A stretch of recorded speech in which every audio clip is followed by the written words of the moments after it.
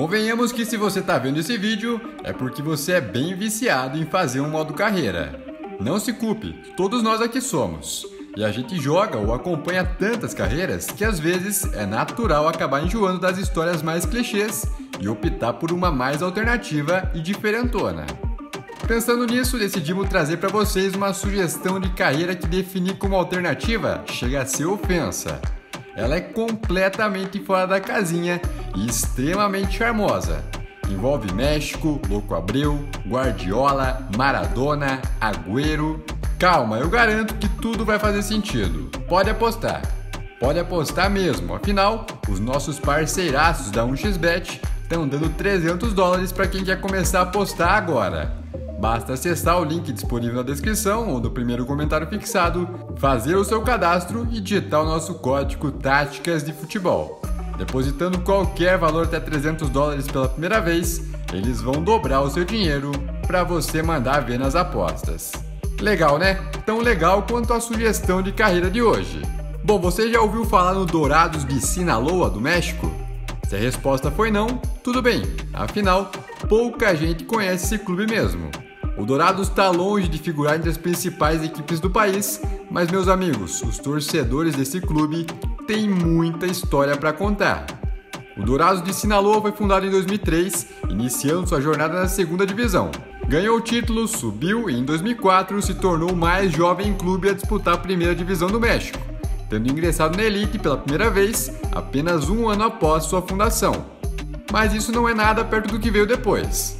Em 2005, o clube contratou uma figura bastante conhecida e curiosa, Louco Abreu. E em 2006, um nome ainda mais impactante, Pepe Guardiola. Sim, meus amigos, Pepe Guardiola, o próprio, já em fim de carreira para reforçar o meio-campo. O espanhol chegou ao Dourados de Sinaloa após dois anos ganhando rios de dinheiro no Catar. Guardiola não precisava ir ao México, já tinha ganho inúmeros títulos e muito dinheiro durante toda a carreira. Podia ter se aposentado, mas ao invés disso, atendeu o pedido do amigo Juan Manuel Lilo, que tinha acabado de assumir o cargo de treinador do clube, e foi se aventurar no México para ser treinado por ele. Seu treinador em Sinaloa, segundo ele próprio, é uma de suas maiores inspirações e um dos seus maiores mestres ao lado do lendário Johan Cruyff. E o sentimento de gratidão é recíproco, pois o ama já declarou que considera Pepe um filho, o irmão mais novo, um grande amigo. Essa amizade começou ainda nos anos 90, quando Pepe era jogador do Barcelona e Juanma treinava o pequeno Oviedo. Era a segunda temporada dele como técnico na liga, porque na temporada anterior ele já tinha treinado outro clube pequeno, o Salamanca, que pelas mãos dele mesmo saiu da terceira divisão da Espanha e chegou até a primeirona. Fora de casa, o Barça enfrentou aquele Oviedo de Lilo, que era uma das sensações da Liga Espanhola, e venceu por 4 a 2 mas o placar dizia muito pouco sobre o jogo em si, porque o time da casa realmente conseguiu equilibrar as coisas com o gigante da Catalunha. Oviedo jogou o futebol que Lilo sempre quis que os seus times jogassem, criou chances, dificultou a vida do Barça e ao final dos 90 minutos, a torcida deles aplaudiu de pé.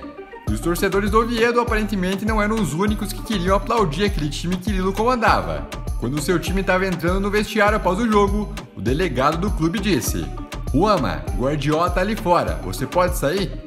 Pepe ainda nem tinha ido ao vestiário se trocar, estava suado, sujo, ainda de chuteiras. E Lilo então relembra: Guardiola me cumprimentou, me elogiou muito, disse que meu time já tinha o surpreendido no campeonato anterior, quando enfrentei o Barça com o Salamanca, e que mais uma vez ele tinha gostado de como jogamos. Perguntou para mim se a gente podia começar a manter contato e foi aí que tudo começou. Cerca de uma década depois, Pepe foi treinado por Juanma em Sinaloa. Na época, o Dourado sequer tinha vestiário no campo de treinamento e a passagem de Pepe foi um verdadeiro fracasso, culminando com o rebaixamento do clube e a aposentadoria do catalão como jogador. No entanto, essa passagem pelo México foi essencial para a carreira de Guardiola como treinador. Em várias entrevistas, Pepe comentou que nesse período que atuou pelo Dourados, ficou horas e horas na casa de seu técnico Lilo, vendo vídeos e mais vídeos e conversando sobre futebol. Pepe anotava os detalhes dos dias de treinamento em um caderno e extraiu muito do que, pouco tempo depois, aplicaria como treinador. A prioridade de sempre sair jogando desde a defesa, que era um aspecto do jogo muito alta no México já naquela época, principalmente por causa de tudo que Ricardo Lavolpe vinha fazendo na seleção mexicana. A parceria, inclusive, perdura até hoje, pois assim que teve a oportunidade, Guardiola convidou Ruama para ser seu auxiliar na comissão técnica do Manchester City. Doze anos depois, em 2018, o Dourados voltou a ser manchete no mundo inteiro após contratar nada mais nada menos do que Diego Armando Maradona para ser o seu treinador. E surpreendentemente, Maradona fez um ótimo trabalho. Quando assumiu o time, o Dourados era lanterna da segundona e em poucos meses, Maradona alavancou de forma incrível o desempenho da equipe e a levou a duas finais consecutivas da segunda divisão. Infelizmente o acesso não veio, Maradona, já com severos problemas de saúde, decidiu não permanecer e o Dourados ficou na segunda divisão. Essa história, inclusive, virou documentário da Netflix. Diante de todo esse contexto, o nome ideal que pensamos para assumir o Dourados, aproveitando essa onda de ex-jogadores comprando clubes, é o de Kun Agüero, que recentemente e infelizmente precisou encerrar a carreira devido a problemas cardíacos. Agüero foi casado com a filha de Maradona e desse relacionamento tem um filho, Benjamin, que só é neto do eterno camisa 10 da Argentina e afilhado de Messi. Só isso. Pouca pressão na família ou não? Bom, além disso, durante todos os seus últimos anos no City, Agüero foi treinado por Guardiola e seu assistente Lilo. Obrigado a pendurar as chuteiras, o ex-atacante agora poderia conectar todas essas ligações que envolvem o Dourados, comprando o clube e dando o passo que nem Maradona nem Guardiola conseguiram: levar o time ao caminho dos títulos. Para isso, Agüero poderia investir dinheiro para trazer jogadores mexicanos de destaque do futebol mundial, como Raul Jiménez, do Wolverhampton, Héctor Herrera, do Atlético de Madrid, Carlos Vela, do Los Angeles FC, ou ainda Ticarito Hernandes, do Los Angeles Galaxy.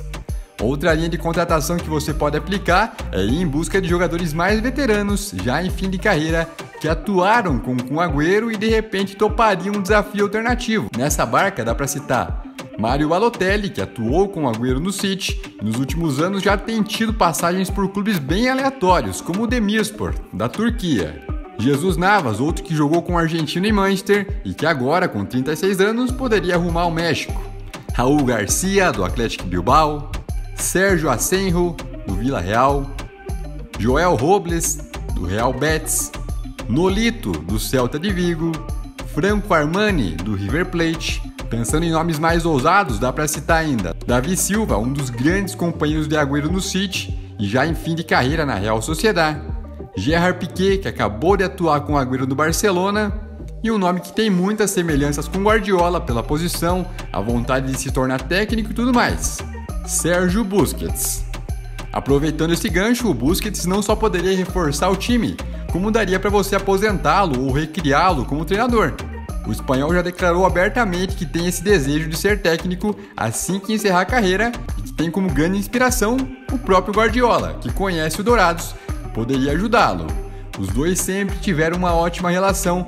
Guardiola foi quem lançou o Busquets ao time profissional do Barcelona e não é só isso, o transformou em um dos melhores meio-campistas do século. Em todo esse tempo, Busquets com certeza aprendeu muito e poderia aplicar tudo isso na prática iniciando em um centro alternativo e com menos pressão do que na Europa. Outra alternativa é trazer de volta Juan Manuel Lilo, o técnico do Guardiola no Dourados e que, como a gente disse, hoje é assistente de Pep. Assim como Domenech saiu para o New York City, Arteta foi para o Arsenal e outros assistentes do espanhol decidiram traçar seu próprio caminho, Lilo, agora mais experiente e com dinheiro em caixa, poderia assumir o seu antigo time. E aí, o que, você achou dessa sugestão alternativa? Difícil achar uma história mais charmosa que essa, hein? Quem vocês contratariam? Quem seria o treinador? Será que o Agüero conseguiria levar o time ao topo? Deixem suas opiniões aí nos comentários. Um grande abraço.